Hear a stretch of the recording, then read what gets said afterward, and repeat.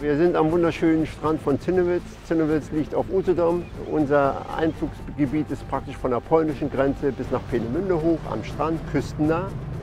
Und im Achterwasser von der Zechariner Brücke bis zur Wolgaster Brücke.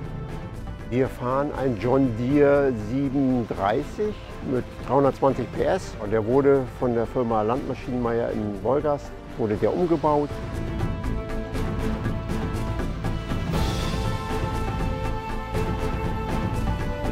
Man weiß, wie John Deere aussieht, er ist grün, gelbe Räder. Hat unser nicht. Unser ist rot und hat schwarze Räder. Sämtliche Bolzen, die mit Seewasser in Berührung kommen, wurden durch Edelstahlbolzen ersetzt, praktisch eben seewasserfest gemacht.